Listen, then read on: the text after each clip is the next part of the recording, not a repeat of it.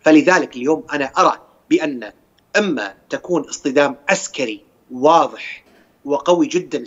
سيجر المنطقة إلى خطر وسيهدد الأمن الغذائي لأوروبا والعالم العربي خصوصا أن مصر وسوريا ولبنان والعراق وتونس والمغرب تحديدا الدول هذه منهكة اقتصاديا. لن تقوى هذه الدول على أي هزة اقتصادية قادمة بعد لا قدر الله الحرب يا ساتر يا رب. آه، آه،